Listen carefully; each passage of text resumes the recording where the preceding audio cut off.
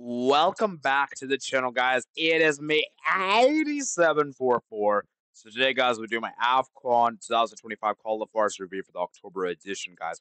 We have a lot to unpack here, guys, and get your popcorn ready, guys. Get your drinks ready, guys, because I have a lot to unpack here, especially about one certain team that we're going to get on to when we get to Group F. You guys know which team I'm talking about, by the way. So we're going to go ahead and unpack everything, guys. So please remember to watch this entire video and yeah, just let me know how guys feel in the comments below. And yeah, we're gonna go ahead and get started. So let's start with Group A, guys. Group A. We got here Tunisia, Comoros, Gambia, Madagascar. Shout out to Comoros. Comoros did amazing this month. They won. They got four points against Tunisia, and you could you could probably argue that Tunisia is the best team in this group. The fact that Comoros is unbeaten is insane to me. And for Tunisia, as I said, man, it's a weird one because Tunisia is the type of team that is a team that could excel as underdogs, but also underperform when they're like the favorites. Now, I still reckon that Tunisia will qualify for the AFCON. I believe they should. And if they don't, it'll be a disgrace. It'll be embarrassment. Although, to be fair, Tunisia did do pretty bad at last AFCON. So it wouldn't come as that big of a surprise to me. But still, I would expect them to qualify. And for that second place, guys, it's really between Comoros and Gambia. With all with all due respect, I don't see Madagascar doing it. I think Madagascar will um, not do it. So it's, it's gonna it's basically between Comoros and Gambia. At the moment, I'm leaning towards more of Gambia simply because Gambia are hosting Cam- Comoros next month, and I have a sneaky feeling that Gambia will get the win. Now, if Comoros manage to get a draw, which would be great for them, then it puts Gambia in a position where they have to play against. I believe. Let's actually look at the November games real quick. Um, they have to play uh, Tunisia on the road. So for Gambia, my thing is that they have to try to beat um, Comoros at home. Because Tunisia away, even if Tunisia have already qualified, I still wouldn't take that risk because it's an away game for them. So I think for Tunisia, uh, for Gambia, they have to beat Comoros. As for Comoros, great. If they could get a draw against Gambia and beat Madagascar, puts them in a great position. And as for Madagascar, I just think it's going to be too hard for them. I just don't see them doing it. They have to beat Tunisia and they have to beat Comoros away, which isn't going to happen. So for Madagascar, we can. I, I just don't think it's likely. So right now, I'm gonna say Gambia and Tunisia, but Comoros could definitely do it, man. I think Comoros have what it takes, and I think Comoros, as I said, man, they need to get that draw on the road, and if they can get that draw, four points, great for them, and for Gambia, three points would be good for them. But remember, uh, Comoros are already um they're one point ahead of Gambia, so um it's going to be interesting. So, like, let's say Comoros do get four points, like 10, Gambia gets three, eight, so it won't be enough. So like that's why I'm saying that for Gambia in particular, they have to try to get something against Tunisia too, because that might also be crucial in deciding this group and how this group pans out. But yeah, we have a very interesting Group A upon us. Group B, guys, I'm not gonna spend too much time here. This group is I already feel is very much decided already. I don't see much of happening. Morocco have already qualified with 12 points. They're on cruise control. Lesotho are pretty much out. And now it's between Gabon and Central African Republic. And with all due respect, it should be Gabon. Gabon are still yet Central African Republic still have to play Gabon, and I just think Gabon will take get the better of. So, yeah, I don't really think there's any. Mm, we don't have to really discuss too much about this group in detail. Group C. Now, Group C is a bit interesting, guys, because Group C is a lot more interesting than it should be. Because Egypt have already qualified; they've taken care of business. They have beat uh, Mauritania both games. Shout out to Botswana. Botswana actually managed to beat Cape Verde and both games, did the double over them, which is impressive. And now it puts this group in a predicament where could Botswana actually do it? Because if I'm not mistaken, guys, let's do a quick Google check. Let's do a quick Google check, guys. I believe Botswana have never made the AFCON in their history. No, they've only made it once, which was in 2012. So I'm actually wrong there. But it will be their second ever appearance for Botswana if they manage to do it. So can Botswana actually do it? Because here's the thing, guys. Botswana has to play against Mauritania and Egypt. See, the Egypt game is a tricky because even though Egypt already qualified, I believe that game is in Egypt Stadium, if I'm not mistaken, or is that at home? Yeah, it's it's at Egypt Stadium. So that's where I'm, I'm a bit concerned with Botswana is that they have to beat Mauritania. I think if they could beat Mauritania, they put themselves in a great position. And remember, the last time they played against Mauritania, it was only a 1 0 loss for them on the road. So and Martinez scored in the 84th minute. So I think Botswana can do this. It's just a matter of they have to get something against Egypt potentially because Cape Verde. I think Cape Verde, even though Egypt have already qualified, I don't think I'm not sure Cape Verde is going to beat Egypt. So it's going to be interesting, guys, to see what happens. Remember, guys, head to head is a tiebreaker here, guys. Head to head is a tiebreaker. So, um, that's why I think Cape Verde is almost out of contention because even if they win one of the games and Botswana loses both games, Cape Verde still have a worse head to head than Botswana because Botswana did the double. So I think Cape Verde is in a really bad position. Mauritania, I think they're in a I think they're in a better position than Cape Verde. So at the time, uh, at the time, I'm gonna lean towards more Mauritania, but I'm really hoping Botswana do prove me prove, prove me wrong because I think it would be amazing if Botswana can do it, guys. It would be amazing. And considering Cape Verde and Mauritania were there at the last AFCON, it would be quite some achievement. Group D. Now, this group is a bit tricky to, uh, talk about, guys, because obviously there's a lot of uncertainty with this group. We don't know what's going to happen with the Libya Nigeria game because obviously that got postponed due to the Nigeria players being stranded at the airport. Now, I'm going to assume that Nigeria gets the win by default, meaning that they get a 3 0 win and put themselves in 10 points and pretty much leaving Libya out of contention. But here's the thing, though. If Libya do manage to get the three points, puts themselves at four, seven, six, five, four, we have a very interesting match day five coming up. What do I think is going to happen? I think Nigeria will get the win by default. I don't think Libya will get the win. So I think that puts pretty much uh, Libya out of contention. Now it's a matter of who's going to get the second place between Benin and Rwanda. At the moment, I'm leaning towards more um, Benin. But remember, um, Rwanda actually did manage to beat Benin at home, which is crucial. And for Benin, they have to play against Nigeria at home, and they have to play against Libya on the road. So I think for Benin, it's great for them. Whereas Rwanda, it's kind of tough for them because they have to play Libya at home, which they should win, obviously, but then they have Nigeria away. So I think the fixtures are actually more in Benin's favor because Benin have the game at home, whereas not uh, Rwanda have to play away. So it's going to be interesting to see what happens in that regard. But yeah, like I said, guys, uh, we'll see what happens with the poll decision. I'll probably make a YouTube short, uh, make an announcement, whatever happens, because at the time recording this video, no announcement has been made yet. The Group E we got here, it is Algeria, Equatorial Guinea, Togo, Liberia. Um, th- this pretty much group is already decided. Algeria is going to top the group 100%, 12 points. Cruise control. Liberia, it's pretty much out. Not really much to say there. Now for Equatorial Guinea, Togo. Equatorial Guinea really should be doing this. Togo, I don't think they're going to do it. I think Togo is a bridge too far for them because even though they're still mathematically in contention, it's very unlikely they're going to do it. They haven't haven't won a game. And Guinea, I think they just need one more point. I think one more point will be enough for them to seal it.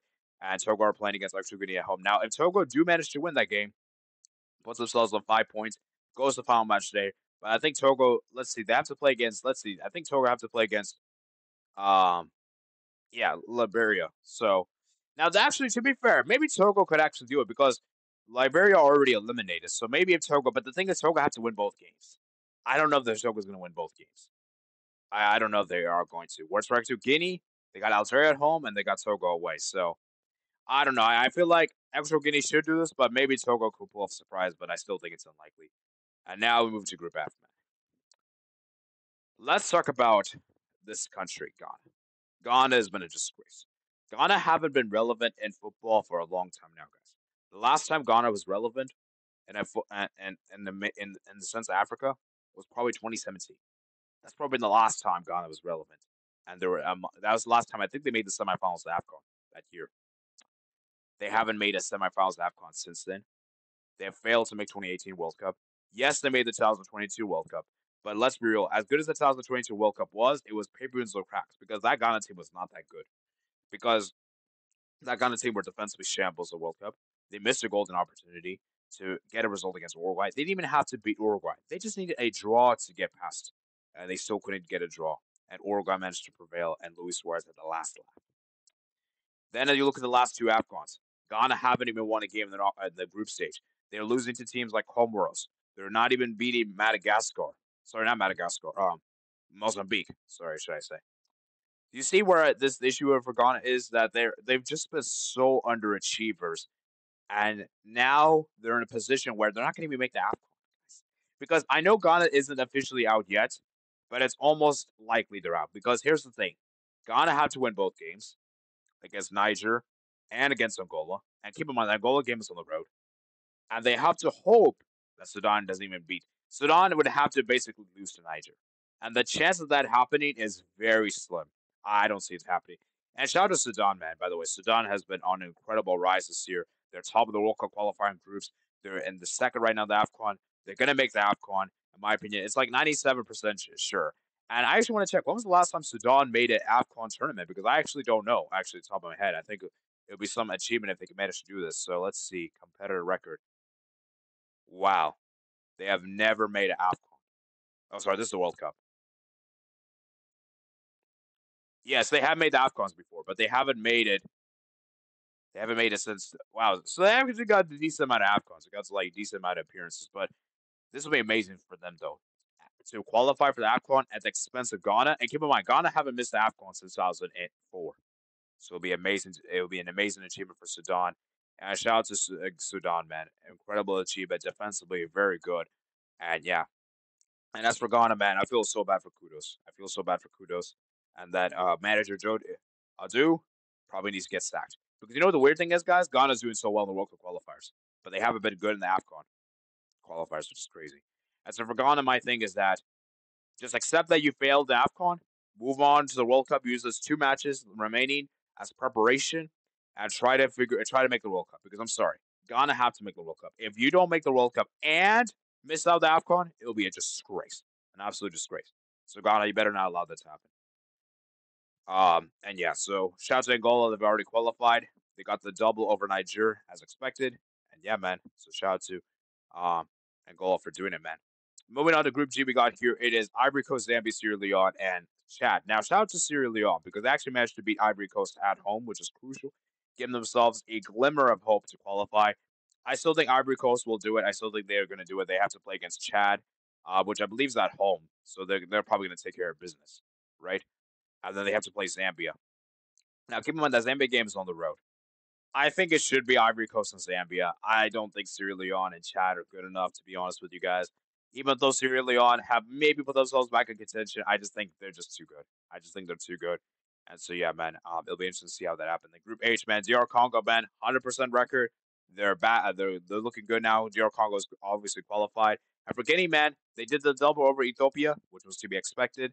And now it should be it should be it should be Guinea. Um, and remember, but they did lose to Tanzania at home though. So for Guinea, man, I think if I think Tanzania have to beat Guinea and then Ethiopia play against Tanzania. So Tanzania, man, Tanzania might be in a better position than Guinea because Guinea have lost at home, and Guinea has to play against DR Congo. But keep in mind, DR Congo have already qualified. So for Guinea, as I said, man, they better make the AFCON. They better make the AFCON with Guirassy at the helm. Yeah, I mean, I think he scored a hat trick if I'm not mistaken. So, yeah. Shout out to Guinea, man. Shout out to Guinea. Group I, man, we got here is Group I. We got here Mozambique, Mali, Guinea Bissau, Eswatini. Um, Eswatini's pretty much out. They're pretty much they're pretty much out. So there's not really much to discuss there. Now here's the thing, guys. This is actually interesting because Mali, even though they're still perfect, they have they have not been as good as we expected them to be. Mali should still qualify. I expect them to qualify. They play against Eswatini next, and they should be able to beat them. And the Mozambique they can play against. Um, um, sorry, actually, Mali plays against Eswatini last. Sorry, should I say? Mozambique play against Mali. I think it should be Mozambique and Mali that should make it through. I don't think Guinea Bissau are that good. Um, although to be fair, they haven't really conceded that many goals. They won't concede three goals, but then again, Mozambique have also done so. I just don't think Guinea Bissau score enough goals. That's the thing. So I, I think it should be Mozambique and Mali making it through. And then Group J, guys, wow, Cameroon, man, shout out to Cameroon. They qualified, ten points, unbeaten. And shout out to Zimbabwe, man. Zimbabwe, what an achievement, man. They've actually done the double over Namibia. That was there in the last AFCON. And you know what the weird thing is? Namibia was actually good in the last AFCON. They weren't that bad. And the fact that uh, Zimbabwe actually the double over them is quite impressive. Kenya is in a really bad position because after the hammering they got against Cameroon both home and away, Kenya have to play against Zimbabwe, and Zimbabwe just need one point. Zimbabwe just need one point to secure the bag, and I think they're going to do it, guys. I think Zimbabwe's going to make the AFCON. I think Kenya's going to miss out. And I, I just don't see um, Kenya doing it, man. I don't see Kenya doing it with all due respect. And um, for Zimbabwe, man, it would be good to see them back in the AFCON after they missed out in the last edition. So I think they were there in 2021, if I'm not mistaken. So yeah, shout out to them. The Group K, man, uh, we got Uganda, South Africa, Congo, South Sudan. I mean, I think it's pretty straightforward. I think Uganda, South Africa has got this in control. Congo's goal difference, even though they're on four points, the goal difference minus six is really bad. So I, I don't think it's going to happen. Although, to be fair, head to head is the tiebreaker, so maybe they have a glimmer of hope. But um, Congo have to play against Uganda at home. Maybe if they can win that game, put themselves in a good position, but I just don't see it happening. And for Group L, the final group we got here, this group is already decided. Burkina Faso, Senegal have already qualified, and Burundi Malawi are out. So shout out to Burkina Faso, Senegal for doing it, guys. We'll see who gets top spot the next month, but it really doesn't matter. And yeah, man, so it's going to be interesting to see what happens there indeed. So I hope you guys did enjoy this little recap of the AFCON, guys. So let me know what you guys think in the comments below. Please remember to like and subscribe. And yeah, I'll see you guys later, man. Peace out.